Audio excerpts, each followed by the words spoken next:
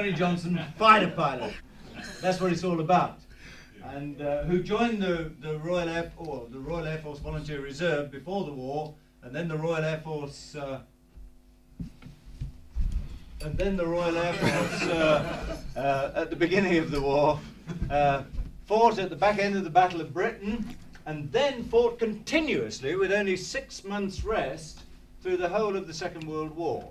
And that wasn't the end of it, because thereafter he served with great distinction in the post-war years, having been a fighter pilot in uh, Korea, as uh, with the Americans, and uh, and then with great distinction thereafter, having retired in the mid 60s. Tonight he is going to talk about leadership in the fighter arm, and I know he's going to talk about all sides of, uh, of fighter command uh, including Normandy and North Africa. Tactical Air Forces. Tactical, tactical Air Forces, and we very much look forward to what you have to say, sir. Thank you, Phil. Yes. Yeah, yeah.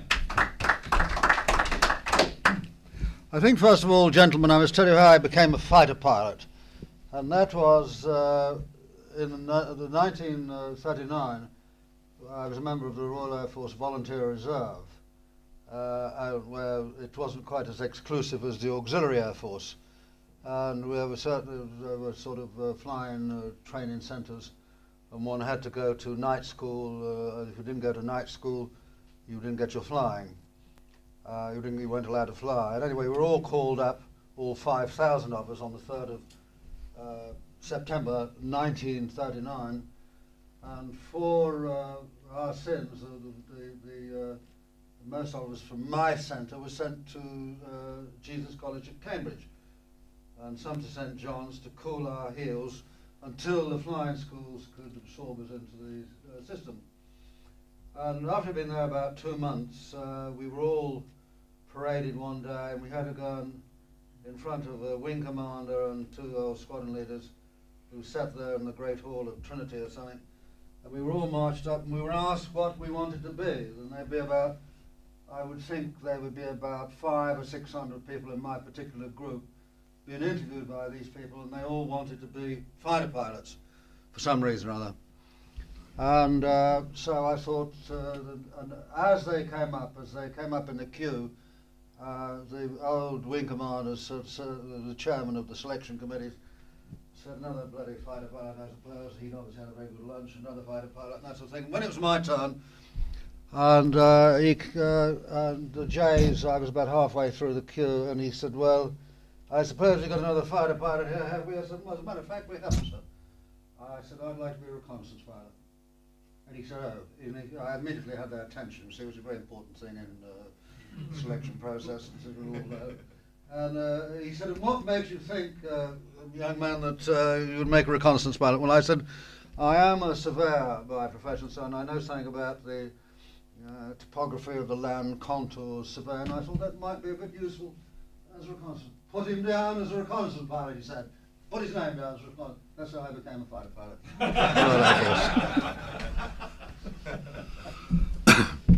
We're going to talk about leadership this evening, as I saw it in the Second War. My definition, uh, definition of leadership is uh, is the, the leader. I think the first quality is integrity. I think that is once the integrity, you can say that's part of character. Once a man flaws in his integrity, he's lost.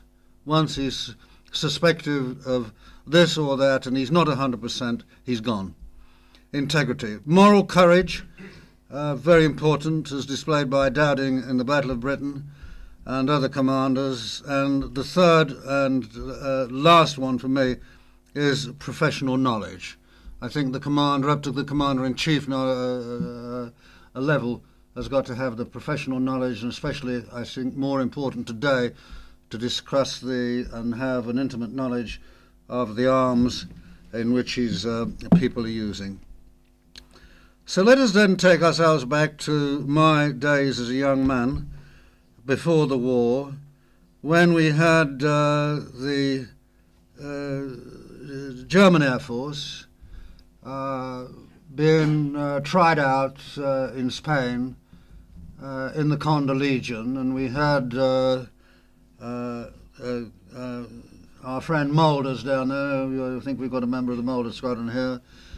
Uh, I'm also an honorary member of the uh, German Fighter Pilots Association. I told you before dinner.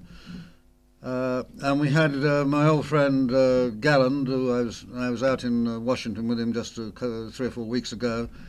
He was down there in Spain, and they got their they got their act right. Uh, the Germans down in the, in Spain with the Condor Legion, and they got the they proved the 109. They proved the Stuka, the dive bomber, which was to terrorise Europe later on. And they also, under a man called uh, Richthofen, von Richthofen, a relative of the uh, Red Baron himself, uh, they got the Air Ground Act together. They were the first uh, people in the world to get the air ground uh, team together in the Spanish Civil War, integration of the army and the air force. And uh, then they came back uh, in, I think it was 38, and uh, studied these lessons of the Condor Legion and developed their air force, which uh, turned out to be really a big tactical air force with, in 1939-40, with not too much emphasis on the strategic air force. And we may, as we develop this uh, talk this evening, uh, we may think that uh, you know, they weren't very far uh, wrong at the time with the, the, the, lack of the strategic air force and concentrating on the tactical air forces, as it were. Meanwhile, uh, fighter command, uh, what were we doing in 1938, 39? We had uh, uh, we had some bloody awful tactics. We had the textbook tactics of uh, the fighter command. There was one to six attacks and I was looking at my logbook the other day. I was writing a piece for a new book, which I hope you'll all buy, buy in due course. you never mentioned the last one, did you? No, I told that. and I was uh, uh, writing a piece, and that's the thing, that on September the 15th, in my logbook, and I was flying with the 616 uh, South Yorkshire Squadron from a place called Kirton in Lindsey, and we were a reserve squadron not too far from the battle.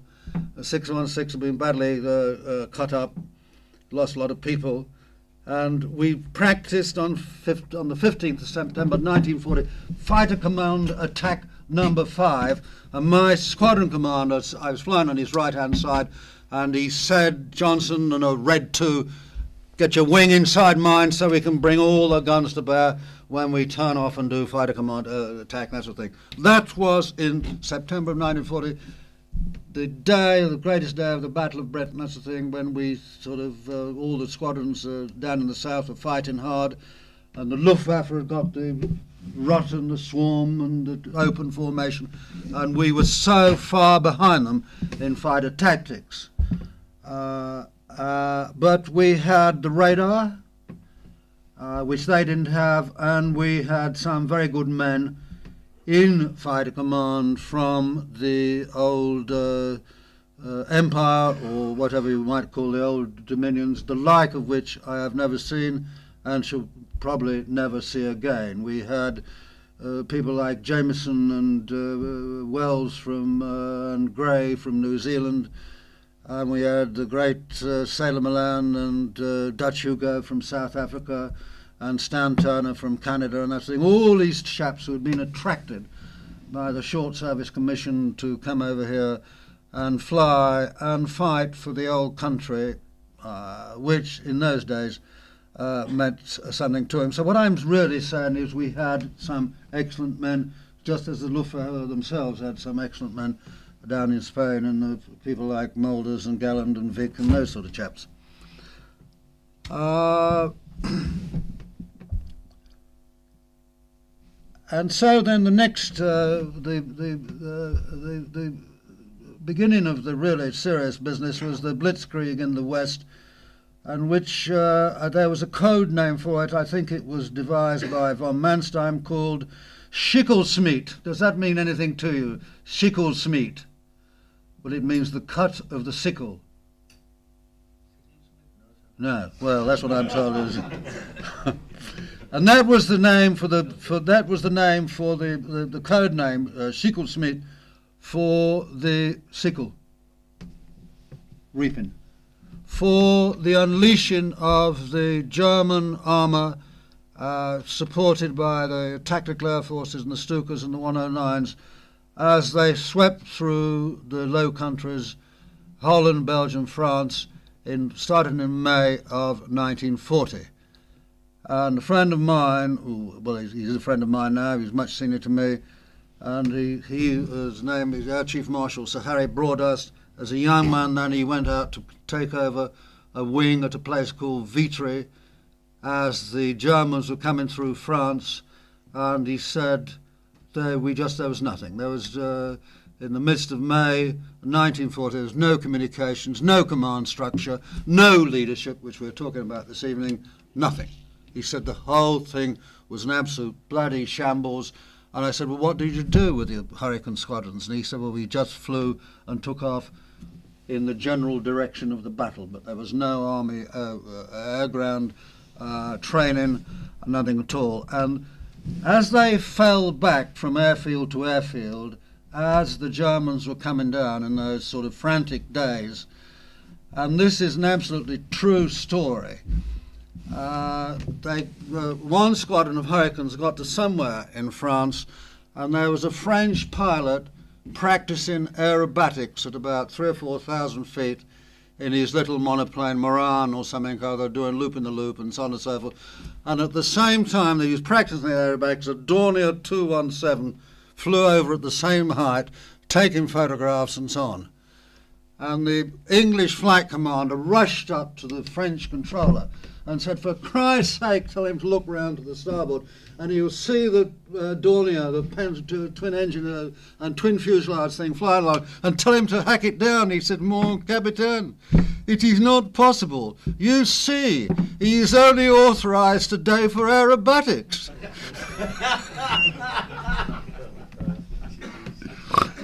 True story, true story that. And so that on the 19th of May, gentlemen, then we see the War Cabinet meeting and discussing the, on the 19th of May, the evacuation from France of a considerable number of men. An operation, I think it was, uh, I think it was Operation uh, uh, Dynamo, uh, which uh, eventually succeeded when we were cornered with the British Expeditionary Force and 20 French divisions in the what they call the Canal Line. And according to my researches, there's been a lot of uh, talk about the miracle of Dunkirk. There was no, there's no very miracles in war, as we know, really.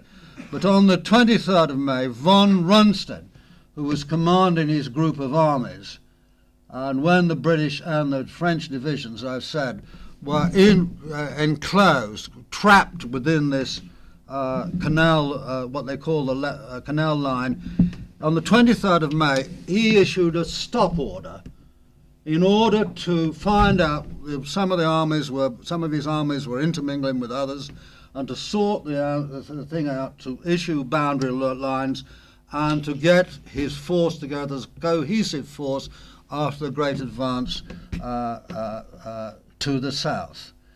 And so that was a that was the stop order, which was really a, a, a regrouping order, and uh, Hitler agreed with that. There's uh, documentation to say that uh, Hitler agreed with that, and on the 27th of May, uh, uh, three days later, then Hitler ordered the attack Rundstedt to attack uh, the British and French forces. But by then, they'd had the opportunity, and most of them were away.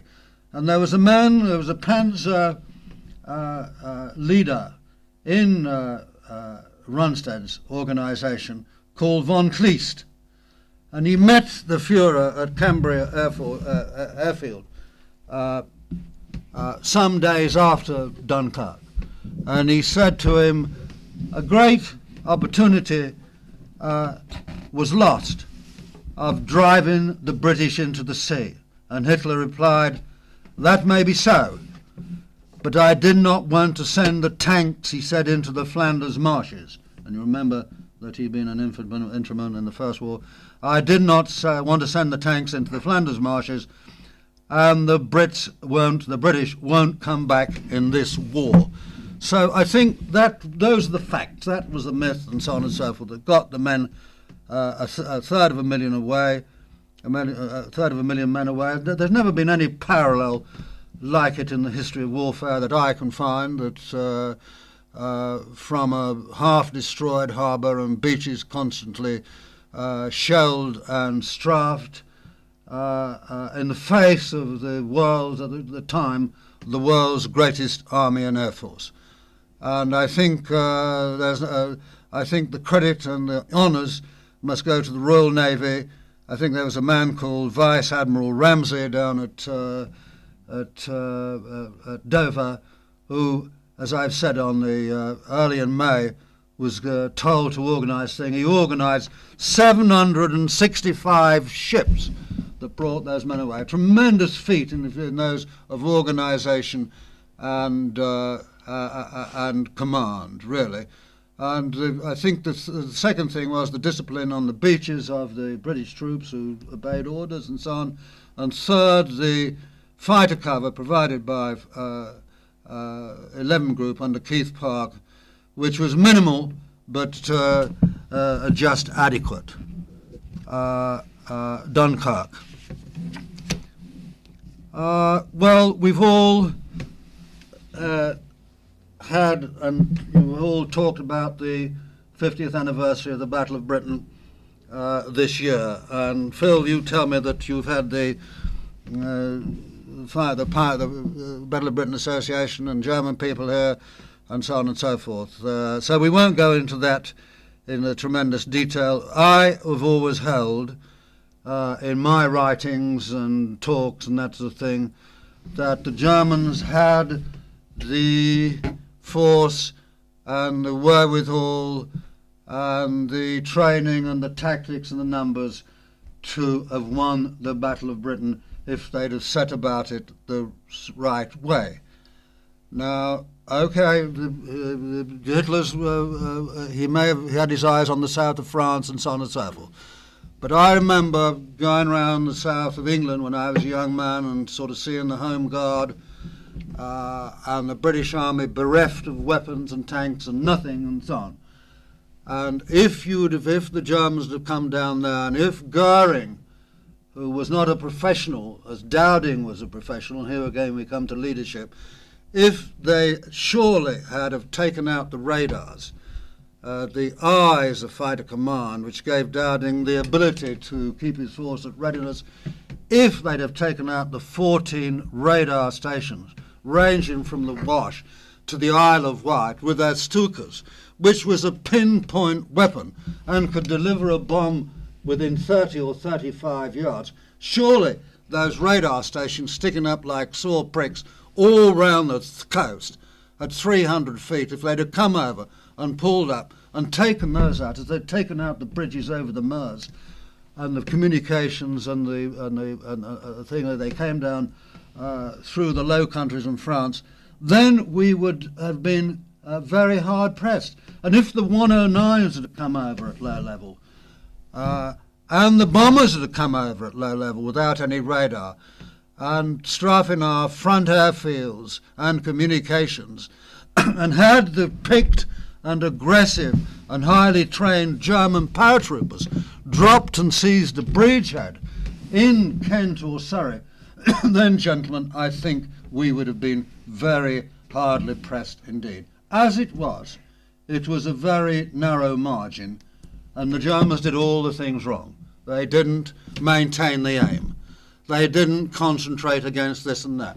They switched when they had us reeling and the communications had gone and we fighter command was a waste in command because it was losing 125 experienced pilots a week being replaced with 65 inexperienced pilots a week uh, we were a waste in organisation until they switched from the changed their strategy, didn't maintain the aim, and went for London in retaliation for a small attack on Berlin, which saved the day.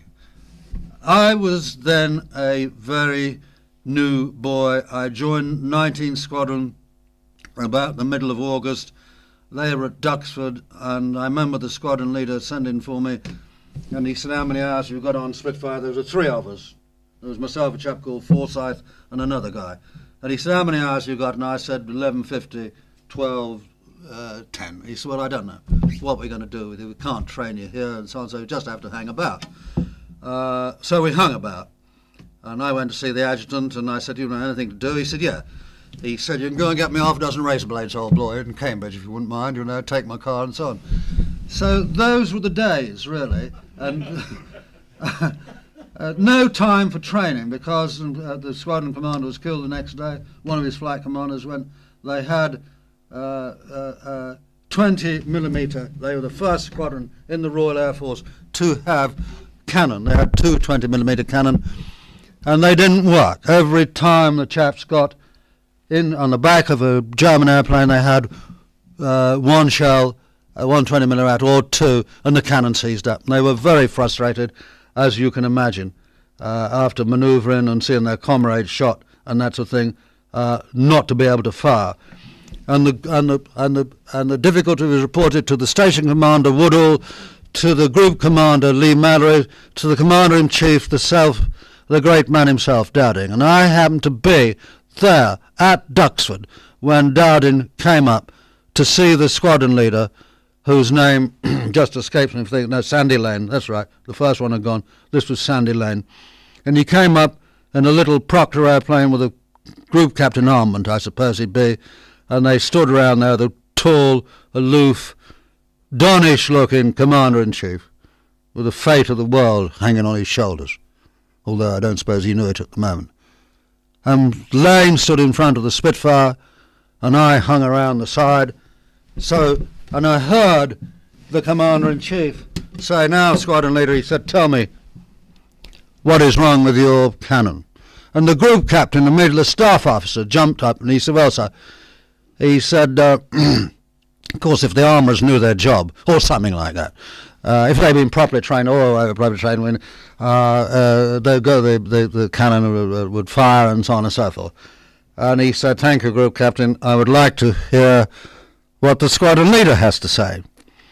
So the bloody group captain went in again, you see, the staff officer, and Dowding shut him up, very courteously. But it was a great, really, wasn't it? It was a great, uh, I don't I don't suppose I realised at the time, there was the commander-in-chief. He was talking to one of his squadron commanders. The chain of command. The group commander wasn't there, but that didn't matter. But that was the chain of command from Dowding to this. He wanted to hear what the squadron commander, the staff, were there to advise and shut up. They don't interfere with the chain of command. So there were two things there, weren't there? There was the chain of command and there was the leadership. That in all this time of all the stress, the great man had time to come up and talk to a squadron leader uh, to find out what was wrong with his 20 metre cannon. They went that day and were replaced with uh, the old uh, uh, eight gun uh, Spitfires. Uh, so, uh, I think I'm not going to go into the Battle of Britain any more than that. I think we it was won largely by German mistakes. I think they could have won it, as I've said. We did have the leadership and we did have some very great uh, chaps at in the squadron at the squadron level fighting for us. I think such a diverse uh, medley of men as would I don't know whether we'd ever see them again or whether they were seen before. They were the they were the Empire chaps. They were our own arch. They were the reservists. They were the auxiliaries. There were Czechs and there were Poles. They had fought with three air forces as Europe fell and had little else to uh, lose as they fought with us. And then there was the odd Frenchman and the odd uh, seven or eight Americans and so on. Very diverse uh, group of people. And I think as the days of September, as the, the, the when the bombing was switched, then they scented the victory. And like a really a pack of hounds, if you like, they scented that they could hold. If they couldn't win, at least they could hold uh, uh, the fort, the island home. And their morale was tremendous. I have never, ever seen anything like it, and I've been around a bit in various wars. I've never seen anything like the morale of those fighter squadrons and the people in it at that time, except for one occasion when I left 19 Squadron and then I went to join 616 Squadron, and they'd been hammered and lost half their uh, chaps down at Kenley. They were badly led uh, and uh, were demoralised. But they got a man, uh, they got a good CO who had them right in a matter of days. He was a man called Billy Burton. He was a Cranwell man, sword of honour, leadership again. Soon as the, they had to get rid of the old CO, it was useless. They brought Burton in, and he had the squadron right in uh, a matter of two or three days, except for his tactics when he told me to put his bloody my wing inside his. But still. Uh, I think one of the greatest. Uh, I remember as a small boy, not a small boy, but as a pilot officer, I remember picking up in 1941 an operation. Uh, was lying. The CI had left it uh, uh, on his desk, or something or other, in the dispersion. I picked it up, and it was called Operation Fuller. Top secret, it said.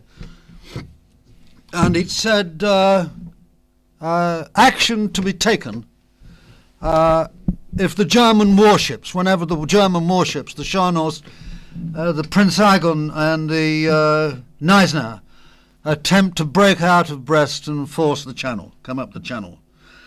Uh, and in 1941, they've been bombed, they've been photographed, had Spitfires had gone over them time after time. Uh, Ultra had intercepted the German message, the long ears of Ultra, uh, that they were going to one day they'd try and come out and so on and so forth. Uh, Galland, uh, I call my friend, he is a friend of mine, I've known him for years and years, and a very fine chap he is, had been summoned to the Fuhrer's headquarters and put, although he was the general of fighters, he had no operational command, ever, uh, uh throughout the war. He was like an uh, what we have, like our inspector general, or uh, the inspector general that was. I don't suppose he exists now, does he? No no job for our chief marshal or something like that. and but uh, he said, uh, and then they said to him, I think Jarnac was it, the chief of the air staff or some such name, said, "Oh, Galland, you will be in charge of the fighter cover for this operation of the ships coming up and so on and so forth." So Galland went down to uh, uh the Channel coast, picked his men. Had, uh, I think he had about 250 ME-109s and so on and so forth, and he set himself up three headquarters, one at Saint Omer, one at Schiphol as they moved up, uh, Schiphol or Schiphol, whatever you call it in Holland, and then one at Jever. And he picked his controllers and so on and so forth, and he figured that they could have 16 109s over these great ships in daylight as they came up the channel and so on and at some uh, certain times as the 16 went out and the 16 to, there'd be 32 over uh, the ships for about uh, uh 20 minutes or 15 minutes out of each hour. Uh, and it is inconceivable to me, even after all these years, that these bloody great ships, really, I mean, they were big ships uh, with their escorting 20, 40 E-boats coming out of Cherbourg and so on, Nobody ever, not the whole of Coastal Command, the Royal Navy, the Royal Air Force, that's the in they steamed. And it was a man called Victor Beamish from Kenley. With his wing commander flying was a man called Finlay Boyd. And the weather was very bad. The cloud base was uh, 400 feet and so on. He decided to go and sort of shoot up something. Uh, they were called rhubarbs. You took two chaps, you went over and you sort of uh, uh, shot up any moving Frenchman you could see in France or so and or somebody take the away. And as they came back, as they uh, uh, ten minutes past eleven or something like that, and even then, uh, we uh, bomber command had had forces standing by or earmarked for it. We'd had forces and that thing, and I think it was left to uh, six uh, swordfish of 825 Squadron, the Fleet Air Arm, to take off from uh, Manston. They've been moved out of Manston, led by a very great chap called uh, uh, Lieutenant Commander Esmonde. and they said he would have an escort of five squadrons of Spitfires He eventually left. Uh, they were supposed to rendezvous over Dover, and uh, he eventually set course from Dover at 11:30 with half a dozen Spitfires, and of course all the swordfish were uh, uh, shot down. I think there were one or two survivors, not very many. Esmonde got a posthumous uh, Victoria Cross, and I think his body was uh, uh, uh, later washed up somewhere on the Medway. An example, gentlemen, there I'm, of ineptitude, if ever there was one, on part of the British forces. Uh, uh, we can only excuse the army; they had nothing to do with it. But the air force and, and the navy really sort of had their fingers well in on this occasion. Uh, brilliant bit of planning by the Germans and a brilliant bit of improvisation by Adolf Galland and his hand-picked uh, uh, fighter pilots. Dieppe. I mentioned Dieppe. I, I, I, I, I can't really. I uh, it was picked by Mountbatten, uh, who was then uh, the chief of combined operations. He'd had a, and they were looking for, I think his brief was raiding parties uh, to uh, on the occupied coast. They'd had, I think, one fairly successful but expensive raid on Saint Nazaire, where they'd uh, stuffed an old uh, destroyer full of explosives and rammed it into the harbour. And then uh, they decided, uh, and all, everybody must make their, must take the blame for this, the chief of staff and everybody, uh, that they would attack Dieppe in strength. And I think it was the 19th of August 1942. Now, I had a Frenchman in my squad, And as we walked back from the briefing, uh, the night, uh, the day before we were to, the operation was to take place, he said, well, we have, my family has a country cottage at Dieppe, and he said, you, it, the beaches are, the cliffs are, go up to 150 to 200 feet all around Dieppe, uh, five miles either side. It's very rocky beach or very pebbly beach, a narrow little beach, oversea. He said there couldn't have been a worse place in the whole of the European coast to try and attack. And in we went, Dieppe, uh, with 5,000, uh, I think 6,000 uh, uh, all told, and 5,000 Canadians. And of course, we had, I remember, uh, I had a Spitfire uh, 5, and I was a squadron commander at the time, and I got chased and harried by, on the first sortie of the day, by my squadron was split up, lost three people, and uh, I had a job to get out because the Focke-Wulf was superior in all respects to my Spitfire 5. And I thought, well, I don't know, how do I get away from this chap? And by this time, I'd got a bit of experience, so I thought, well, I'll spin the bugger down, you know, I'll stall it and spin it down, that's the thing. So I spun down from, uh, I don't know, 8,000 feet, and that's the thing. I looked around, there he was coming down with me, you know, just a bit higher, he was spinning down too. I kicked it out, and he kicked it out. And I turned round the bloody church tower as hard as I could, and, my, and he turned round, and so on and so forth and the only way I could get rid of him was dive straight at the destroyers who fired at one and all, including, you know, they, the Royal Navy, no recognition and so on. And uh, I never saw him after that. I don't think they got him, that's the thing. We lost that, uh, uh, a friend of mine, who I'll uh, talk about a bit later on, was flying that day. He was a group captain. I mentioned him already, Broadhurst. And he was flying, he was the group captain in operations at uh, uh, 11 Group and uh, by which uh, Leigh-Mallory uh, was the AOC, and he called Leigh-Mallory up over the, after the first sortie, and he said, "I think that instead of going over in wings, sir, three squadrons, he said these Focke-Wulfs and and 109s are operating in twos and fours." He said it'd be much better if we did that. If we operate, uh, Leigh-Mallory said, "What did you say in Broadhurst?" And because uh, of course, is a big wing man, you know, the big formations and so on and so forth. So uh, Broadhurst got very, uh, uh, uh it didn't get any very uh, change out of his AOC, who insisted we flew in wing formation the rest of the day. We lost 106 airplanes, 85 which were fighters. the Germans lost 48. I think it was the, I think it was the greatest loss we ever sustained, greater than any in the Battle of Britain. I uh, have a quote from the commander of one of the German artillery's uh, batteries that was firing down for, on the Canadians, he said, We felt very sorry for the enemy. He was as a mouse going into a trap. Dieppe, a bad day uh, for us all. And uh, I think everybody, Chief of Staff included, uh, uh, must bear the responsibility, although it, they've long since gone, so there we are. Uh, I just want to talk now a little about the tactical air forces. The Germans, as I've said, were so much ahead of us. And after Dunkirk, of course, the uh, army were very suspicious uh, about what the Royal Air Force could do in the way of close support and that sort of thing. We were very suspicious about the army, whether they were going to stand and fight and sort of square up to them, and whether they were going to bloody well sort of start running as hard as they could again.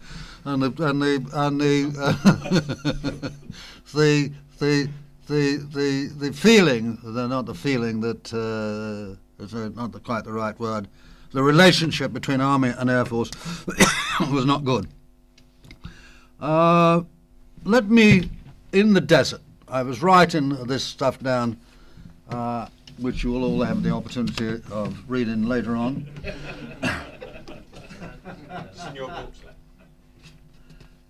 uh, since the Royal Air Force was suspicious about the Army's will to come to grips with Rommel's Africa Korps, relationship, inter-service relationships in the Middle East were at a low ebb. And the army were pressing for the control of air forces in the field, including the specific allotment of airplanes down to divisional level. Uh, of course, this is this is very bad news to the air marshals who've always, since Trenchard's day, have always believed in centralised control and flexibility and not splitting your thing, uh, your uh, effort into penny packets. Eventually, the Prime Minister of the day, Winston Churchill, had to state in the House of Commons that the Royal Air Force was an independent service and as such was rem uh, would remain.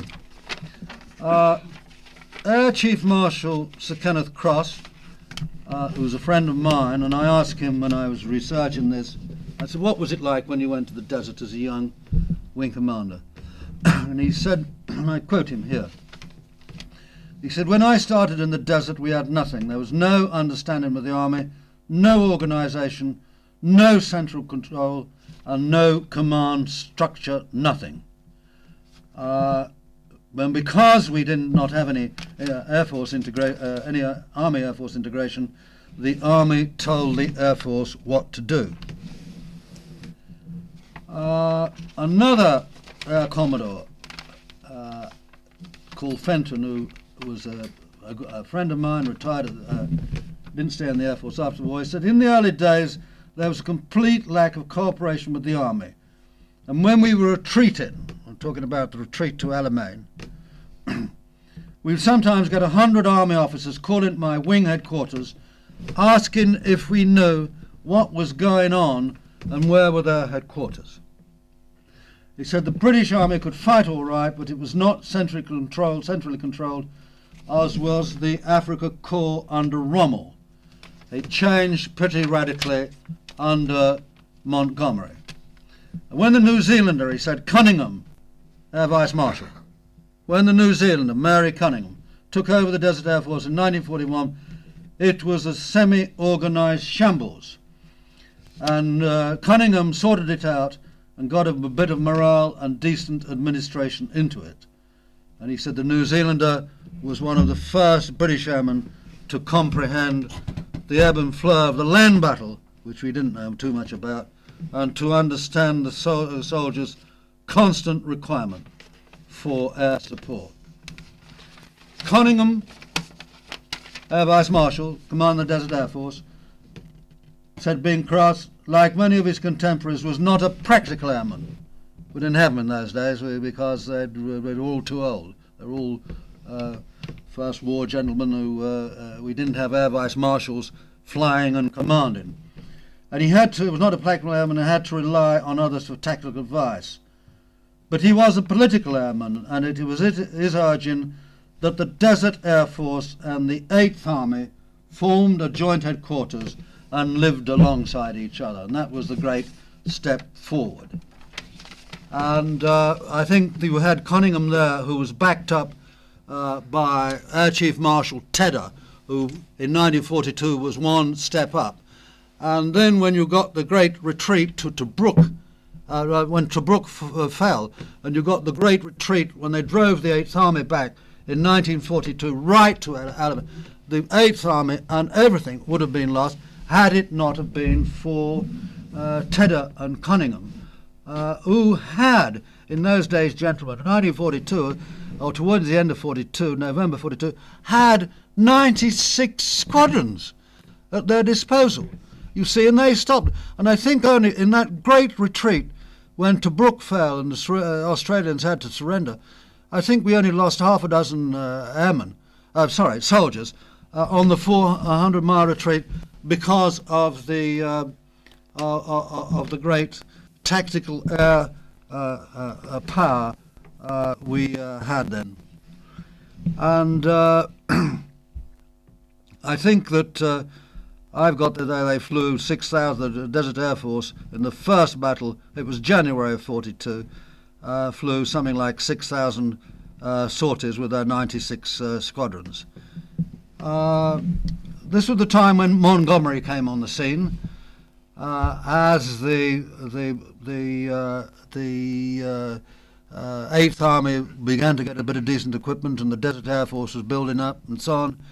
And he was, uh, I think, a rather fortunate general because he came at the right time as the equipment was coming through. And then, he, of course, uh, they he broke out and uh, chased the Germans back. Uh, and in his uh, speeches, he was uh, the bells rang. you, I remember it. in this country, it was the first victory we'd had, at Alamein and so on. And, but he made and he made a came home and was uh, paraded up and down Whitehall and given this and that and that sort of thing and told everybody how he'd done it. But he made no mention of the Air Force, and I think this uh, soured people, uh, soured the airmen for Tedder particularly, and Coningham uh, for a long time, a long time to come, as we shall see. And then Harry Broadhurst, uh, after El Alamein, he took over the Desert Air Force. The whole thing was restructured. Coningham went up to become an air, air vice mar air marshal, commanding the, what I think was called the Northwest uh, European Air Forces. And Broadhurst uh, became, at the age of 35 or 36, became an air vice marshal. And he was the first man in 1940, end of 42, 43, he was the first practical airman to get command of a reasonable organisation or group. And that's what we've been lacking because so far we'd had people like Leigh-Mallory, Sholto Douglas, and that sort of thing, old fuddy duddies, really. Nice old boys, but you could fool them. You could fool them. They weren't really practical men. And you got Broadhurst, who'd fought in the Battle of Britain, that sort of thing, and he'd send for you and look at you with his bloody black snapping eyes. You couldn't fool that guy because he'd done it and Basil Embry and uh, the bombers had done it in two group, and Don Bennett in the bomber command, the Pathfinders. There were only three air vice marshals who were the practical fighting men in 1943-44. So then Broadhurst turned round uh, when the, uh, what was left of the German Air Force had gone up to Tunisia, and he found himself got a, got, got a big air force, and which had been uh, used to giving air support air support, but not close air support. So he thought, well, what am I going to do with this big air force now, no air opposition? So he said, I tell you, well, let's see how good they are. And he got some old German equipment, old armoured cars, and he said, well, let's see you strafe them." And nobody, uh, he got the crack squadrons uh, in, but they got their uh, 20 millimeter cannon out there, bombs, that sort of thing, and nobody in the squadrons that he put down to strafe these things and bomb them hit the bloody uh, armoured cars. So he thought he ought to do something about that, and he turned the Desert Air Force into a close support organisation.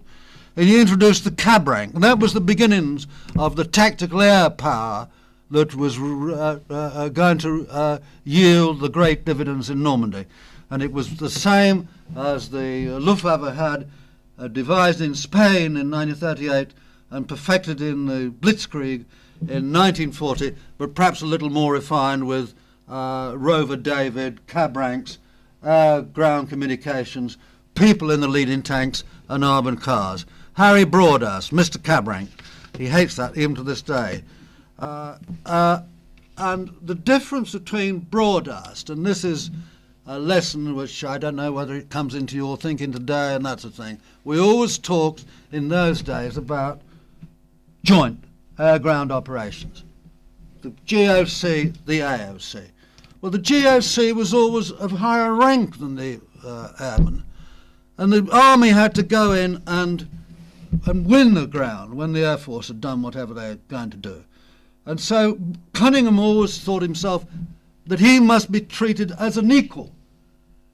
And when he got into Normandy with three stars as an air marshal, you can't, and Montgomery was a four star man and later a five star man. It was, you can't be an equal, really. You can be partners. You can be partners, but the Army were the senior partner in my day, and the Air Force were the junior partner, and they sat down, worked it out. But in the end, in those days, it was the Army who had to go in, occupy the ground, and do the fighting, and I rather suspect it's the uh, uh, uh, uh same today.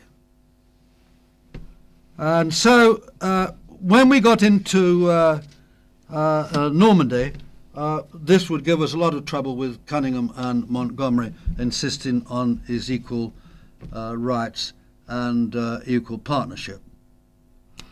If I could just uh, briefly mention, and I've been talking, I see now, for 35 minutes without a whisky and soda, but I won't have one to the end, uh, thank you.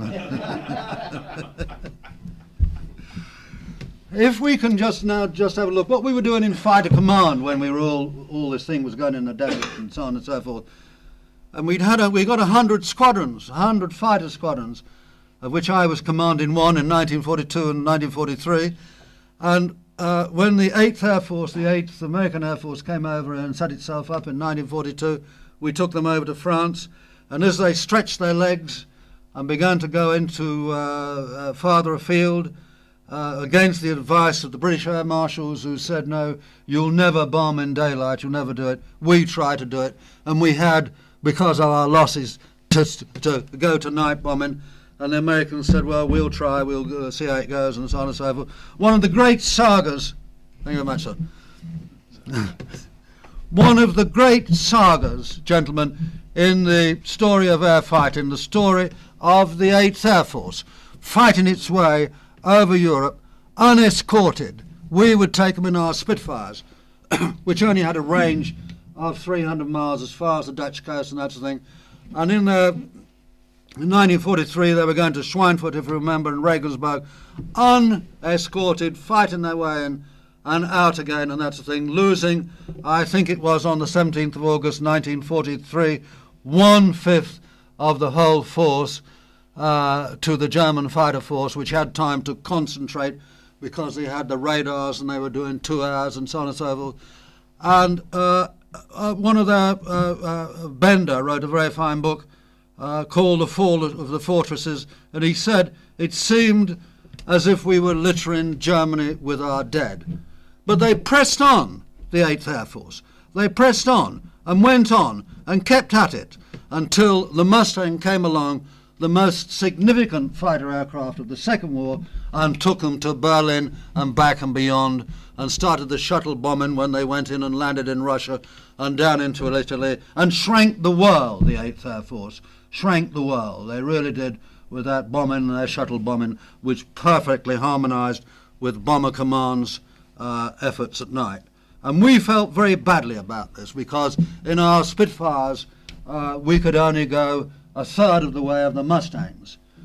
And Portal, of course, who was the chief of the air staff at the time, uh, had been told that the Spitfire's range could be extended, and he had, even Winston Churchill had wrote to him and said, what are you doing about the Spitfire? Because Churchill knew that we were sitting on our asses doing nothing when the uh, Americans were losing a lot of people. And Churchill wrote to him, and Portal wrote back and said that uh, long-range fighter will never have the performance of the short range interceptor, and he was blinkered and may have been a very good chief of, uh, of the air staff, but that was one of his Achilles' heels and one which we very much regretted. Leadership in the 8th Air Force, uh, no doubt about that. Great men, great generals, Hunter, Jimmy Doolittle, uh, uh, tremendous leaders, Kepner flying there, a major general, two-star, and young men like Blakeslee, Zemke, uh, Gabreski, and so on and so forth. I remember Blakeslee commanding the 4th Fighter Wing, and they had the old bloody Thunderbolts and that sort of thing, and Kepner called him up and said, you're going to get the Mustangs, Don. He said, uh, uh, how long do you want to learn to, uh, how long do you want to uh, become operational on them? He said, we'll become operational on the way to the target, General. Good stuff. Good stuff. Mm.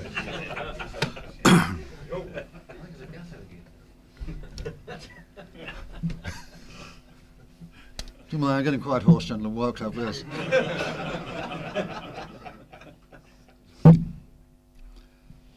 Uh, so uh, we come to the invasion. Not very exciting because we got the most complete air superiority, Normandy invasion. Uh, I was there uh, last this year because uh, my Canadian wing, 144 wing, was the first wing to go back to France after Dunkirk. And we landed at a place called Sainte-Croix-sur-Mer on, I think, the 10th of June to stay in France, which was quite, and we felt it at the time. We were back on the continent to stay after Dunkirk. Meant something to us, uh, uh, I'm sure. Uh, certainly did to me, and it certainly more to the French and so on and so forth. And anyway, this year, uh, the French people, Sainte-Croix-sur-Mer is only a little hamlet of 500, and uh, without any bureaucracy or any local government or any uh, national government, under the local mayor, was a man called Jean-Pierre Benamou, they had a little bit of granite, uh, Caen granite, and they said here, 144 wing landed on the 10th of May on 1944, if you pronounce the, uh, the thing and so on and so forth, to help uh, assist in the liberation of France and Europe. Very nice. Very simple, sans There's an old man comes up, he shakes hands with me, my age, 74 or something or other, and he says, uh, uh, I was here in the resistance when you landed and we spoke and so on and so forth. I said, uh, we'll take a glass together. Yes, he said, we'll have a glass. So we had a glass. And he limped away. Limped away. And I turned round to the mayor, Jean-Pierre Benamou. I said, uh, Jean, was he, uh, was he wounded in the, uh, with the resistance? Oh no, he said, mon general. Oh no. You see, he has a young wife.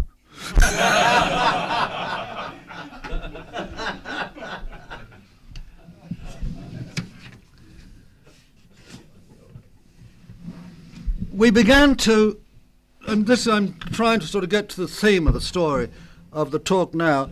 We've noticed that we noticed that when we were in Normandy, we didn't see the commander in chief, Coningham. He uh, wasn't there. Every time Montgomery came round, he was accompanied by Broadhurst. So the four-star man, uh, the general, uh, had as his airman the two-star air vice marshal because he'd lost confidence in Coningham and he had confidence in Broadhurst. This was the general on the ground. And those of you who all know there was a lot of conniving and conspiracies as there has been indeed in this country in the last week or so and so on. But uh, were, the air marshals were uh, uh, Coningham, who didn't like uh, Montgomery, and uh, was in this and that sort of thing, and Tedder, and then the poor old Leigh-Mallory, who got a bloody organisation which no one, no one wanted. He was in the middle. But the point was really that because we, at the group captain, wing commander level, we noticed, we thought that it seemed that something was wrong because Broadhurst was always with the AOC, with Monty wherever he went, and not the commander in chief. And later on, as it turned out, it, uh, when one reads all the memoirs and so on, uh, Montgomery had lost confidence in Coningham, uh, and Coningham, indeed, I think, had uh, uh, been a marvellous man in the desert, but he hadn't measured up to it as a commander in chief. And I went to see, he sent for me when he was uh, uh, later on, uh, when we uh, got as far as Brussels, and he wanted a couple of his uh, wing commanders uh, to go and lunch with him to talk to him about tactics and so on and so forth. And so we went from our little tents in Belgium to the commander in chief's house in Brussels and he had a bloody great mansion. And a man uh, in a white uh, jacket met us at the difference of 1944, uh, in the uh, fall of 1944. And uh, we had uh, a tremendous lunch of Russian caviar and Coningham there in his best uniform and the Comte de so and the Princess de so and, and the finest wines and so on. And it wasn't right it, there was something wrong with it, which we sensed as wing commanders. And there was the bloody field marshal up the road in his tent having his bit of bread and cheese. Uh, there was something wrong. It had gone to his head. He was socialising too much and so on and so forth, and he was explaining that his, uh, his uh, paintings uh, uh, in his mansion were Renoir and that sort of thing, and this was that sort of thing, which he actually I don't know whether those of you may have read the book uh, on Coningham by Vincent Orange. Is that well known here? At uh, we have a New Zealander here, don't we? Yeah. Uh, and he uh, uh, uh, glides over and said there is no evidence to, although Marshal Coningham had the reputation of being an acquirer. I think those were his words. There is no evidence that that he acquired of uh, objet d'art and so on. He should have gone to see the special branch, shouldn't he, at Scotland Yard? That's where it is. It's on the file. And when Coningham was uh, killed after the war, then the special branch went to Lady Coningham's flat in London and removed those paintings and returned them to Germany. A very bad story.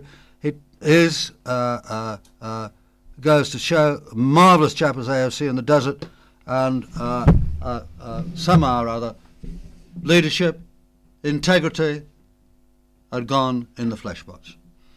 Uh, I'm about to uh, conclude, gentlemen, and then I am going to conclude. Uh, I think that the tactical air forces uh, came to their own in, Norm- in Normandy. Uh, we couldn't get at the Germans in the Bocage country. We didn't have the electronics you've got today uh, to find. We couldn't see them, and we were up against the most uh, highly trained and best army in the world, that German 7th Army in Normandy, veteran uh, soldiers, more than a match for anything that uh, the British or the Americans, Canadians could throw at them.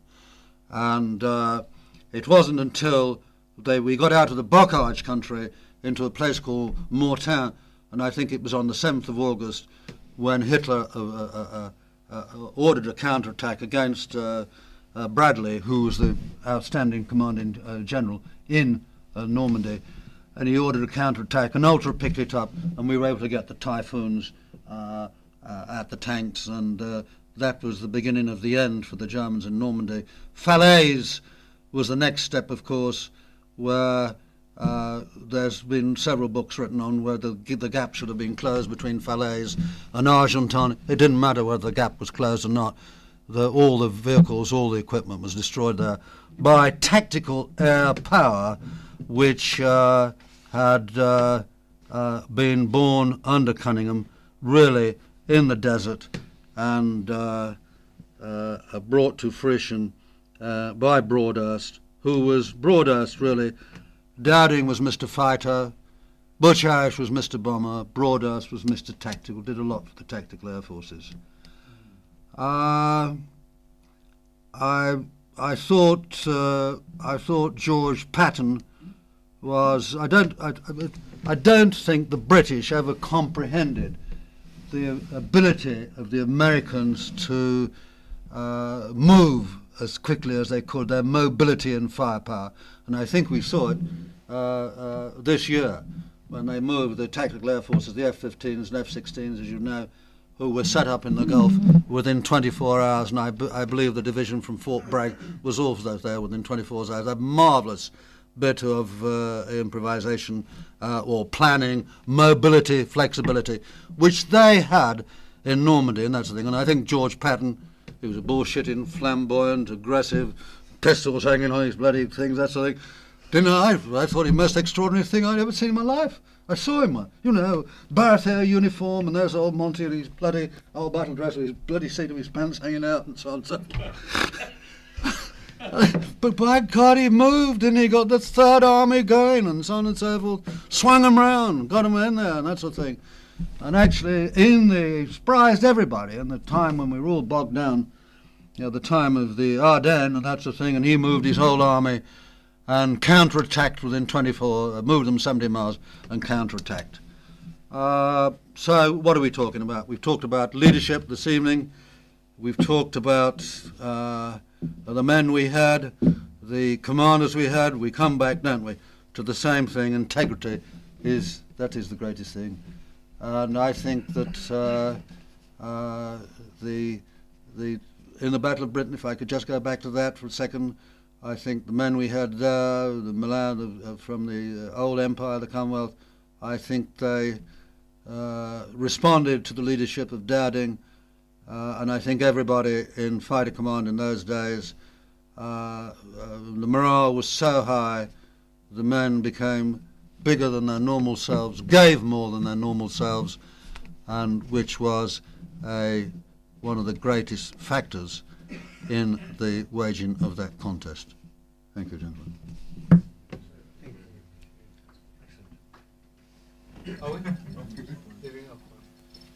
So can I can I kick off Yes, by all means. and ask you about Coningham, um, who you talked long about, and it interests me that the change that happened to Coningham, from this great leader that he was, to this man who you said it went to his head. He uh, he became interested in the the art the art side and so on. Good living, good living. But why was that? I don't know. I What don't. I don't know. You, I think you better ask. The psychiatrist said. I mean, there he was, a man in a lived in a tent and so on and so forth. Had his mug of tea, was ad- admired and adored, if you like, by the squadron commanders. That's a first class chap, and then he became uh, too social, if you like, or uh, in Europe. He actually had, he actually had a group captain up in the front, you know, moving about the front, to find him the nicest house to move into, and so on and so forth. You know, that was the group captain's job. Uh, uh, When we all moved forward, that sort of thing, so that uh, he would have a tactical aim. And uh, it was wrong, really. It was, uh, there was old Monty and his bloody uh, caravan and so on, munching away at his Yeah. biscuit. I don't know. Every uh, uh, every man has his level, they say, Yeah. do they? Yeah. so, uh, uh, and uh, uh, I was I was embarrassed when I was a young wing commander. Yes. I was summons to his house, really. I, and I, I mean, we didn't live like that and Yeah. cut glass and silver and a lot of uh, waiters and flippies sort of bowing and scraping and so on. I mean, he was almost set himself as a God, really. But was Coningham unusual in as a, a senior officer living like that in the Air Force? Were the other senior officers in the Air Force not living like that? Uh, I- think we all, uh, well, I think, well, uh, let's put it this way. We always came back, didn't we? We were always behind the lines and so on and so forth. But I, as a wing commander, had a caravan, yes. I had a wash basin in it. Uh, uh, no, Broadhurst. Uh, uh, he lived uh, uh, like the rest of us, really. He overdid it. He overdid it, really. So, It was a it was a it was a study, really, isn't it? I mean, I don't I don't Vincent Orange's book. Uh, I, have you read it? Mm. Right. well, Vincent Orange came to talk to us Did he? uh, when we had our Battle of Britain Day. Yeah. He spoke a lot about uh, about Coningham. Yes. In the de- well, not in the Battle of Britain, now, about him in the desert, really. Yes. He He's was one of his a heroes. great fan of Coningham. Pardon? He was obviously a great fan Yeah. Uh, of Coningham, and it- Yes. uh, as we, you know, we've said before that uh, he, he probably glossed over some of the the things that uh, you were saying, didn't even acknowledge them.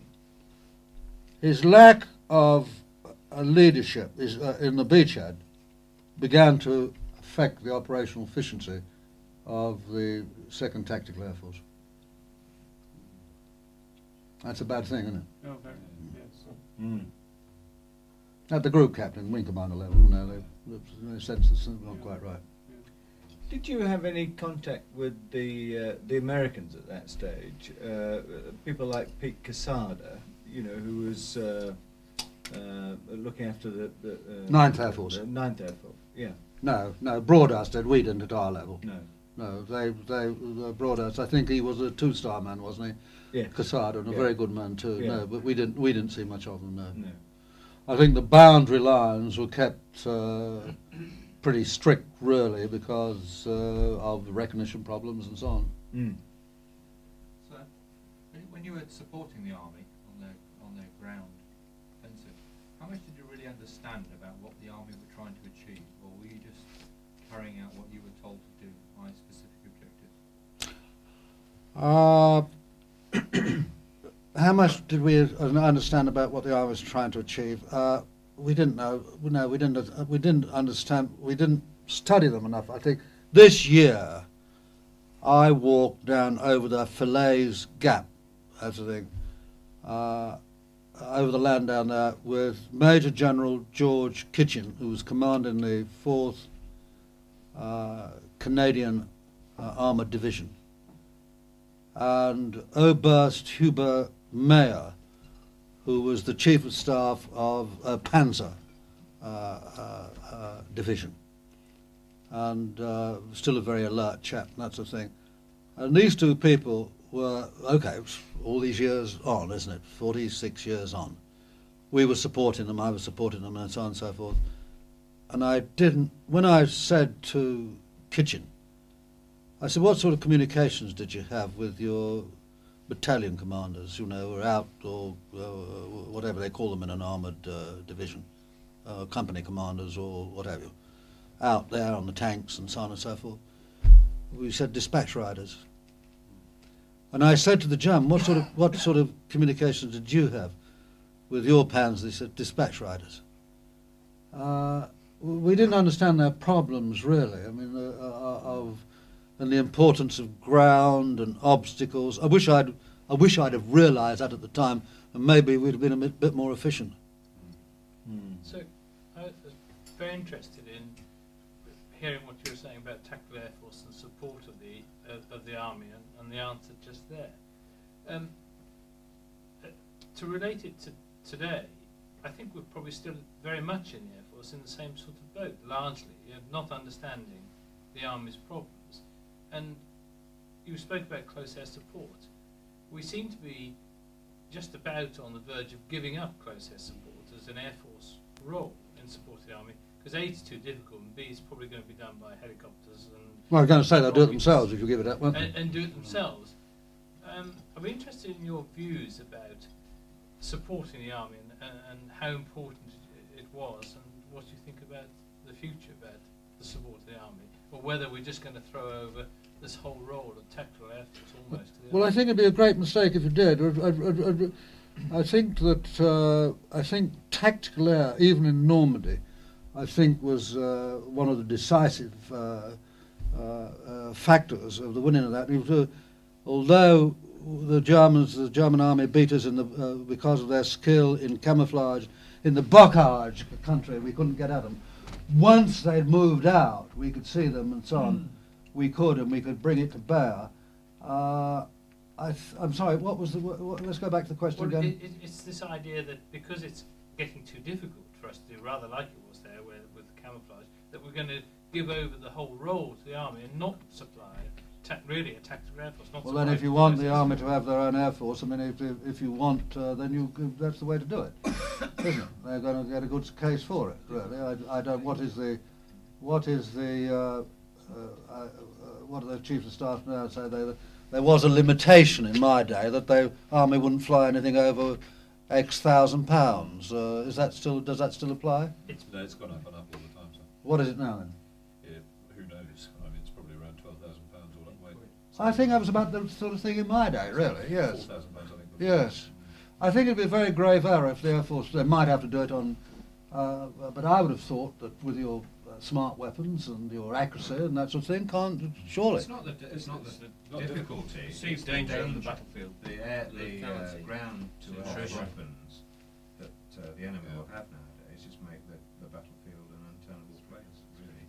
Yeah. Fly around for any length of time and fix an error. Well, so it was my day, really, because well, we lost a lot, lot of chaps, didn't we? To I mean, the Germans were always 88 millimeter and uh, 30 and 40 millimeter was always very good. I mean, it's, I don't think uh, in, uh, in, in uh, uh, the comparison, the thing is uh, a great deal of difference. Would you say? I don't know. I mean, I, Well, I mean, we lost a lot of Typhoon pilots. They're still digging them out at Normandy, aren't they? They went in, you know, uh, uh, on a close support. But the army's got to have close support. There's no doubt about that. And, they, and the closer, the better they like it. And if you don't do it, the Air Force don't, they'll do it themselves. But I think there's a difference that the period that you're talking about, sir, the army had no pretensions to operating air power. No, no. You were the acknowledged masters of the air, and if you didn't do it, it wasn't done. Right.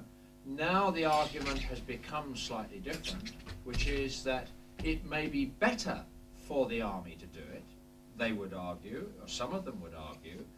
They would find the, A, they can do it, they have a capability, or they could develop a capability to operate some air power, but they would find the integration of the hmm. close battle easier if they managed both aspects of it, i.e. the ground-to-ground weapons and the ground-to-air weapons and the hmm. air-to-ground weapons. It's not a question of danger, I don't think. I don't believe any Air Force uh, operator today is uh, afraid to do what is dangerous. It is a feeling that is shared on some occasions by both light blue and khaki that maybe the, the close battle is better operated by the army in its entirety. Then there's the other argument which says if we give up that role, we start to undermine our entire credibility. But that's another argument.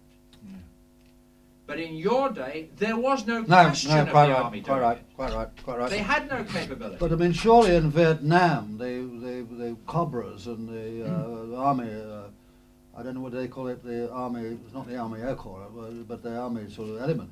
I mean, they had thousands of these bloody things given close support, didn't they, in Vietnam? And Yes, lost a hell of a lot too. Yeah. Yes. I think part of the problem now, sir, is that our, our assets are concentrated on very, very expensive aeroplanes. Sort of 15, 20 million pounds a copy. It's almost become a cost-effective exercise. Is, is it really cost-effective to put this 25 billion pound Harrier into a close air support role? If it gets blown away, it's a, it's a cost exercise. But, uh, That's exactly what I said to Broadhurst when he came to see me in Normandy, and he said, Johnson, he said, he said, you don't seem very keen on this close support business. and I said, you're bloody right, Vice Marshal Broadhurst. I said, I, I'm not very keen on it. I've been fighting for four years the good clean air at 20,000 feet, and I don't want to be shot down by some bloody kraut with his, uh, with his, with his 20 millimeter thing with my valuable little Spitfire. Do I? He didn't. Uh, I didn't think much of it. Said he'd have me court-martial or removed or something. So could, could I ask you to uh, clarify something? I had always uh, understood from uh, reading of history books that uh, part of the problem with the breakout from the Normandy beaches was the fact that uh, the coordination between air and ground broke down and the lessons learned in the desert had been forgotten. You're right. You're right. No, we didn't have any. You're right. That- yes, you're right. You've also suggested that uh, air power had a problem in, uh, in actually targeting uh, tanks and uh, ground units in the, the Bocage area. C- can you just clarify where the balance of difficulty lay? I mean, was it coordination? Was it the Well, country? was okay. let's let's take the first part. We had all this. We had Coningham back from the desert, didn't we? The air marshal. We had Broadhurst, Mr. Cabrank, uh, who they'd done. They got the tactical air forces all British up. They got all the lessons of air, ground, uh, liaison, requests, uh, Rover David, and so on and so forth. And for some extraordinary reason, when we uh, these chaps all came back months beforehand, and so on and so forth, we didn't have a man on the ground calling me up in the air on D-Day or something or other saying, could you come down here or could we have a bit of more support there? We had nothing. And we had nothing for, uh, I would say, two months until we got a control organisation set up and were based in Normandy itself. Very bad, uh, it was a very bad admission there. Nothing at all. I'm sorry, I'm sorry, and the second part of your question was, It was just that I hadn't realised. Oh, in the it was Bocage. So difficult. Yes, we couldn't see them. No, the Germ, the Bocage, I mean, Normandy is hedgerows, isn't it? Little orchards, hills, rolling hills, lush meadowland, and so on and so forth. And the Germans they, they, were, were uh, quite adept.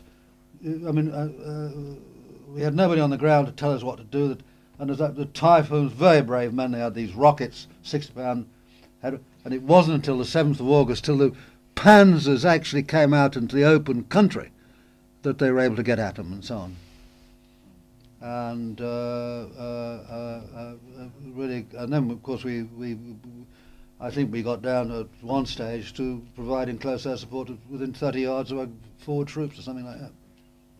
Gee. Only because we got a chap who squadron leader in a bloody tank, you know, in the leading tank and so on and so forth. So I'll give you a bit of red smoke, but you know, put another 20 yards on for me. we got, I think we got it right, really, uh, eventually. But bit, uh, in the, it's quite surprising that it wasn't. Uh, there was nothing in Normandy. Because in that first phase of that campaign, they tried to drag in Bomber Command, didn't they, into the close air support game, Uh, almost. Couldn't be done. And it was not a Uh, success. killed Canadians, Americans, Brits, didn't they? Poor Yeah. chaps.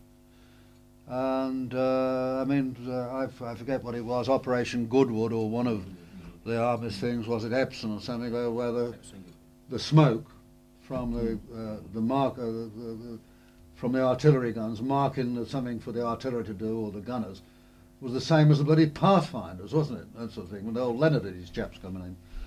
And uh, they were t- we uh, we couldn't have uh, bomber command. Uh, they were uh, uh, not a close support. They were they were they were they were weapons of mass destruction. That's all. And uh, I don't know whether you chaps have ever discussed among yourselves. You've got other things to think about. I mean, whether, whether the effort that went into the uh, strategic air forces, bomber command, and that sort of thing, could not have been uh, spent uh, better spent uh, elsewhere, say in the tactical air forces. As I said earlier in my talk this evening, the the German air force didn't have a tactical, uh, uh, didn't have a bomber command, but it conquered Europe, and had it have been controlled and directed properly, I think it could have conquered Britain without a strategic arm. So therefore, uh, did we waste uh, and put too much into uh, uh, our, of our resources into bomber command uh, uh, during World War II? Interesting uh, topic. And I remember uh, the, the strategic survey was written, uh, bomber command strategic survey was written by Noble Frankland, who was a chum of mine, and another man, Professor somebody or other. I don't know. Several volumes of it. And I remember the, ch- the what? Webster? Webster. Webster? Webster was? Webster Frankland? Something, yeah, it was no Frankland and so. And this thing came out, and it came around the air staff when I was a member of the air staff in 1956, and the chief of the air staff called us, all the directors and deputy directors together. He said, I'm circulating this uh, uh, survey because we can't release it as it is. It was too damning. It has got to be watered down because the relatives of the 57,000 people who were killed in Yes. Bomber Command are going to have something to say about it. Yeah. What Frankland and that's his uh, partner concluded was that uh, uh, a lot of the effort had been wasted. Mm. Was that because of the targeting, though, or was it just just the effort that went into the bomb? drills? I don't know. I I don't. mean, the, the snag was the tac- there was nowhere to be a tactical air force apart from Africa. was it? And there Beg was- pardon? There was, no, there was nowhere to have a tactical air force until Normandy. Oh no, and Bomber Command was the only uh, uh, Yeah, thing that kept yeah. the, the, the war, you know, day in day out for six years. Yes, I, I, I yes, yes. It's yes. also a difficult issue because, of course, the Germans and their aims were trying to achieve certain things, and we weren't trying to achieve the same sort of things. So, I mean, it's a difficult argument once you start saying that because the Germans relied on a tactical air force and they achieved so much, we could have achieved the same. The fact was our aims were very different to the Germans, and what they were trying to do very quickly required a tactical air force. Uh, and our whole thinking had been very different to that anyway, but our aims were different. You know, and Mm. whether we could have achieved those aims of a tactical air force is a very, very difficult. Good point. Yes, Position. good, Yeah. yes, yes. Very Well, good where, point. where would the rhubarbs fit into that then? Would that be tactical or would that be strategic? The what? The rhubarbs. you know, going over uh, uh, Low going level on, sort of- sweep, on the sweeps. Oh, yeah. very tactical, I would have thought. wouldn't you? Tactical. Yes, I think so. Nothing In support. I mean, I mean, in a way, I mean, you know, it's this circular debate you get into it. It's tactical and strategic, but um, there is evidence as well, of course, that the strategic bombing did have effects, and the uh, the United States Strategic Bombing Survey did argue some different cases to the British survey after the war. I think it's very difficult to uh, to to uh, uh, and as airmen, probably we uh, it was air power that buggered them, really, wasn't it? Yes. And, and uh, if you uh, try and divide that into the uh, uh, the tact- what the part the tactical uh, part did and what part that uh, Galland said, uh, I've often discussed it with him. He said, well, we couldn't move anything in Germany. Said, apart from, let alone the sort of uh, Normandy and so on and so forth. When he, I tried to get the fighter reinforcement, we couldn't move anything in Germany because of the bombing and so on and so forth. Uh, all no. all- My point today, tonight, was that uh, for the type of war the Germans had to wage, if their intention was to conquer Europe and Britain, they had the right sort of bloody air force to do it. Yes. Ca- Can I change the subject slightly? Yes, uh, you're the commandant, so you can do as you Well, like. no, I, I do not presume. Uh, but I'm just interested. You've talked about Coningham, and uh, I think what you said about him tonight it illustrates very vividly that every man has his day and his time, and that if you take him out of his environment, and particularly if you promote him, he doesn't necessarily succeed in a different place, in a different time, in a different rank. And I think that's still true today. And that leads me to the thought to ask you to do something that, that was not part of your remit, which is to say that you were also a part of the post-war Air Force, as was your friend Harry Broadhurst. And how did the leadership challenges of peacetime grab you? How was it different, if it was different at all? And how did your post-war experience, or how did your wartime experience help you in a post-war environment? Well, Broadhurst told uh, we saw met each other after the war, and he was demoted to an air commodore. You know, Mr. Tactical, if you like, really. Uh, who didn't have too bad a career afterwards, became our chief marshal uh, and so on. So I think the thing was, yes, uh, it's, it's two different equations, isn't it? Really, peacetime and peacetime and uh, and wartime, command and so on and so forth. I mean, you'll never get a I mean, you, all, everybody gets so old in bloody peacetime. By the time the war comes along, you know, Stuffy Dowding, who said nobody could, could command a squadron over the age of 26, he came out there. But I mean, they were all 40 when the war broke out, weren't they? So. It's very difficult to equate, isn't it, really? Mm? I think uh, Broadhurst said to me, he said, never stay abroad as long as you can. Keep posted and get overseas. Never come into the bloody air ministry, so they'll find you out. So Robert, uh, Robert Shaw quoted you as saying. Uh, Beg pardon? Robert Shaw in his book, he quotes you as saying, "Why let a um, rank lead when ability can do it so much better?" Um, was that talking about the, the wartime era? Was Robert Shaw? Yes, he just he, he quotes you. Perhaps you've written in one of your books. I, I haven't come across the quote directly. Maybe he didn't even say it. Who's Robert Shaw? I'm sorry. He, he wrote a book on uh, fighter weapons and fighter tactics. Oh. It's a fairly it's a contemporary book. Yes.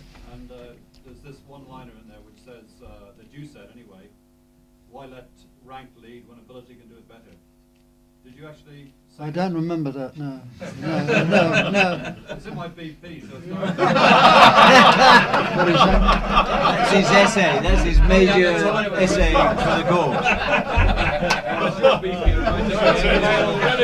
Group problem essays. Oh, really? Oh, he's quoting Robert Shaw. He's quote, yes, he's quoting Robert Well, let's Shaw. have, He's got his quoted bloody essay. Let's have a look at it. Yeah.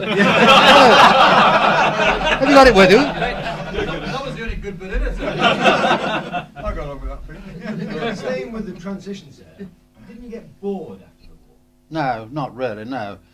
Uh, when I was the AOC, the Middle East, uh, uh, we'll say, uh, and we had Aden, and that's the thing. And I sent for the. Uh, I thought, what's the bloody airplane I want here, really, to get round the territories? And don't forget, we had squadrons in Kenya then, up in Bahrain. We were responsible for the South African High Commission territories, uh, Bechuanaland and Basutoland and Swaziland. So we had a hell of, and we were training with the Rhodesian uh, Air Force who were coming up to us. So I thought, I want a bloody good airplane. Hunter's no good to me. I want a big airplane where I can put a bed in it, get my fishing tackle in it, my guns, my ADC, and you know, tracker and so on and so forth. In that order. In that order. So, Beverley. uh, too bloody slow, wasn't it? Really, never get you there. really. I got the Argosy, you see. I got the Argosy. And by this time, Mr. Broadhurst, Sir Harry, is the head of uh, the Hawker Siddeley thing, building Argosies at uh, the Manchester place, Woodford. So I wrote him a letter. I said, if I send my Argosy over to you, Sir Harry, you know, all due respect and that sort of thing, could you please fit it up as only a, a two-star Air Vice Marshal, Commander of the Air Forces, Middle East, should have? Leave it to me, old boys. so we had this marvellous thing now, which was carrying, instead of carrying 68 passengers, would only carry myself, my ADC, and one or two other privileged people. I think that's why I enjoyed the Air Force. Except the, we had a chap called the financial advisor who'd come uh, in from time to time and say, you know, what is this, this airplane doing, you know, flying down here with only twice a week, you know, testing the route or the turbulence on this. we managed. I enjoyed myself in the, uh, in the uh, really in the in the in the, in the post-war Air Force, and bomber and and. Uh, I was in the Korean War. Then I came back to Second TAF in 1950. We were just re-equipping because of the Russian threat, and there was uh, again I was working for Broader, so you have the don't you have the relationship and so on, and uh, uh, there was the Russian threats, and we got good airplanes, Sabres replacing Vampires and so on. Low Wellington Bomber Command, which was a new challenge. We had good airplanes there in the 50s, the Vulcans and the Victors, the Vulcans particularly, and it was a challenge to fly those. And Christ, you go all around the world. Wouldn't take a fishing rods, go up to Goose Bay, up to the Eagle River. I mean, you couldn't beat it in those days, could you, if you were a multimillionaire? eh? What about Korea, sir? Yeah. Uh, well, Korea, I was flying. I never got in combat in Korea. I was flying with the uh, uh, thing called the B from uh, B-26s, F-80s, Mm. shooting stars, napalm splashing. Uh, we we were flying artillery really. Mm. There was no. This was before the MiGs came into uh, before the MiG 15s came in. And we were we were just an extension of the American Army Mm. rockets. Were you there on exchange with the? I was on uh, the- with the United States Air Force, or were Well, you I was, at, no, I was at a place called Langley Field as an exchange officer. And then when the Korea War started, uh, the uh, Tactical Air Command, which was based at Langley Field, Sure. decided to send uh, a few officers out to Korea to bo- uh, uh, boost them up Mm. with experience. And I was one of them. And I said, well, I'm an Air Force man, you know, Royal Air Force. And said, you, uh, USAF, as far as we can send, off you go, boy, you know. Correct. So uh, uh, uh, it was, uh, uh, uh, I think again, in Korea, I think I think it was the uh, uh, the United States. I think it was the Eighth Army again, and the, and the United States Fifth Air Force under a man called General Partridge. I think it had it not have been for tactical air power, they'd have been driven into the sea at Busan. No doubt about it. Yeah. A, a slightly splinter question, if I may. When you were sent out there from Langley, did your government know you'd gone? No. That's what I thought. No. no. But Jack Slessor, who's then the chief of the air staff, wrote uh, wrote uh, a note to General uh, Stratemeyer, who was commanding the air forces in the Far East Air Force and that sort of thing. And uh, I, I mean, in those days, they didn't take any notice of governments, did they? Really? Uh, and this was 1950. No, no, they didn't. I mean, Slessor. Uh, uh, and I, my orders were cut re- report to General Stratemeyer, and the, Stratemeyer was a great friend of the British, and I think he was a bomber man and so on and so forth. And he said, "Well, you're after Korea, uh, Johnny, you know, Christian name to well, him to me, not me to him." and he said, "You better come and meet the uh, commander in chief, MacArthur."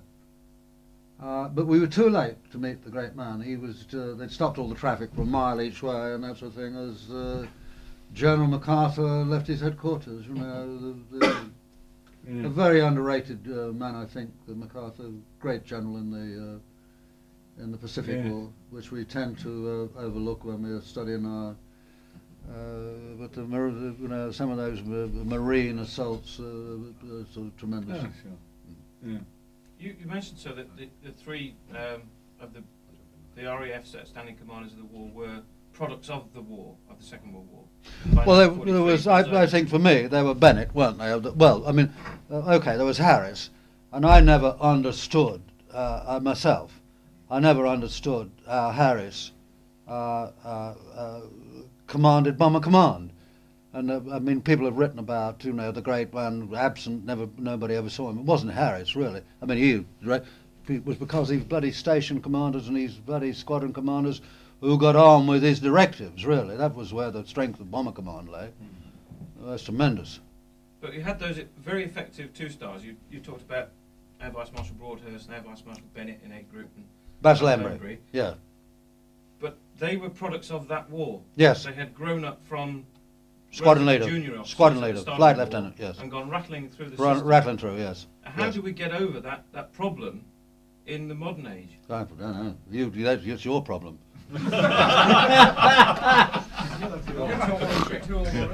But you see, old Leigh-Mallory had come round and say, uh, I mean, all the the business of the Duxford wing and Bader and so on and so forth was that he didn't really know the AOC. And Bader would say, well, of course, you know, if I could have another couple of squadrons, uh, fuck all these chaps in 11 group and so on and so forth, you know. Uh, Leigh-Mallory didn't really say, oh, of course, Douglas, you know, I'll think about it and so on. Go back, then ring him up and say, well, you know, I have two squadrons tomorrow, or another squadron. He didn't, but Basil Embry, Bennett, Broadhurst knew. Coningham didn't know. Coningham had to, that's why he sent for me, to have lunch with him at the day in Brussels and so on, because he wanted to know what it was like doing this, that, and the other. So is it, is it an ability to listen then? To know the right man to listen to? And be able to say, sounds reasonable? I think we're talking about two different things. We're talking about war and peace, really, aren't we? And you can't I don't think so. plan for the I don't two. think so. But- Commandant, what do you think? Uh, well, I, I, I know there's one more question. Can I can I let Dave answer his question and I'll come back to this? Do you want to? Yes, what, what is it? Well, I was going to ask at a slightly lower level, sir. And you're, not that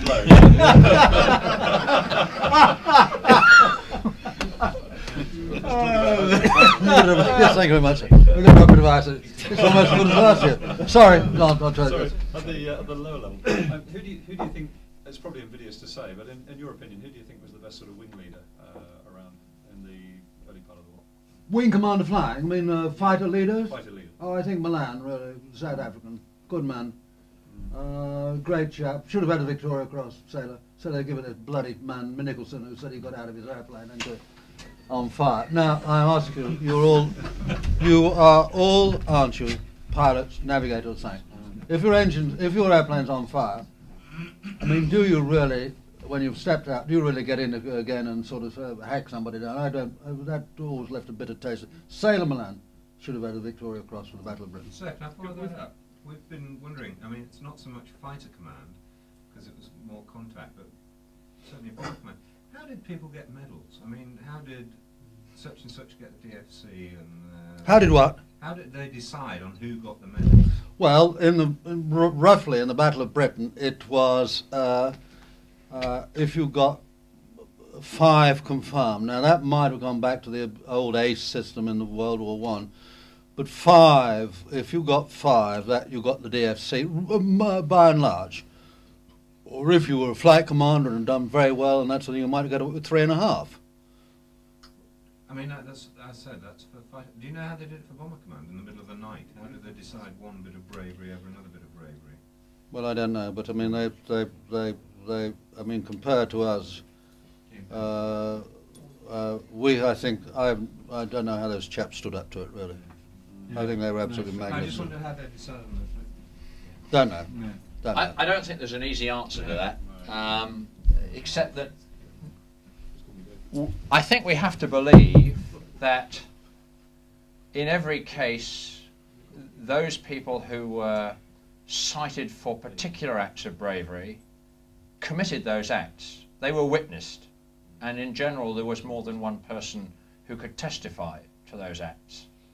Um, and that is how, I mean, even with the stress of battle and the, and the pace that, of, of events, somebody would come back and say, you know, what happened tonight, last night, you know, da da da da, and then people would say, hey, that needs recognition, and, and so it would filter through the system, and it did. Um, there certainly was, I think, the case of, of you know so many victories, so many ops successful. Yes, you know, uh, and we still do that. Uh, we still recognise, if you like, good service in the round, and we still also recognise particular acts uh, in peacetime, and one does that the same way in, the, in, in, in hostilities, I think. Stu, you asked a question. I was going to come back to that. Uh, the question of leadership in peace and war. Forgive me, sir. I, I, I was about to say thank you to you, but I just want to, to pick up this point. Can I recite a little poem before you? Please do. Yeah, no, go on. Yeah, yeah, yeah, please finish your thing. Well, shall we bow to each other, or No, you go on. go on. Let me do this first. Then Yes. you cite your poem. Then I'll say thank you. Yes, yes. Um, leadership in peace and war is different, I think, and I was hoping that that would come out uh, markedly. Uh, the times bring the men, and that that did come out. They're not the same men. And when hostilities occur, and when the Falklands occurred, people who were in high office got fired. They left if they were not up to snuff.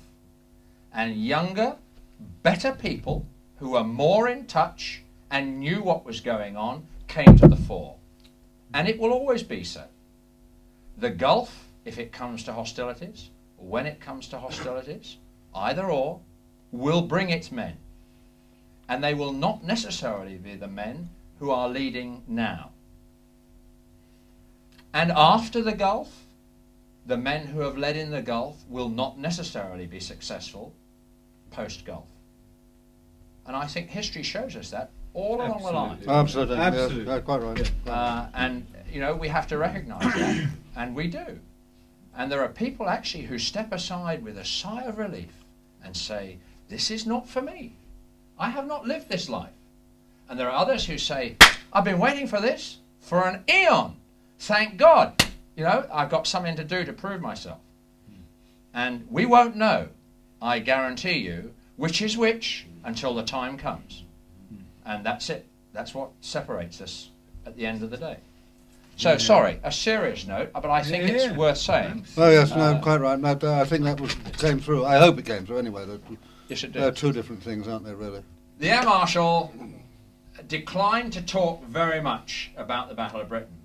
And that was because A, he knows that we've already had a look at that this year. and secondly, because he's written a book. He's written a book. It's £12.99. it's readily available for bookshops. Glorious summer. Go to Sammy. Yes, yes, yes. Do There's remember one- that. Right? it's not compulsory reading, but every purchase is a great acknowledged. Tonight has been another in the series. Somebody said to me uh, in the last couple of days during final interview, Sir, we didn't have really enough on command and leadership. And I was bold enough to say that I've not been here all year, but I am aware that apart from the command and leadership phase, there has been a thread through the year to which we have returned from time to time. And I believe none more valuable than occasions like this when we have the privilege of listening to people who have done it for real and who can talk from real experience of leadership under fire, leadership under real pressure. And I believe we've been extremely privileged tonight to have you back once again to talk of your experiences and to hear what you thought and felt as you went through uh, the days of the Second World War and, and indeed a little bit afterwards. Thank you very much for taking the time uh, to come and be with us. I am sure that all those who have been privileged to be here tonight will remember this evening for a very long time to come. Here. And I also believe that you have provided an essential contribution to their understanding of leadership in action. And I thank you for that. Thank you, sir.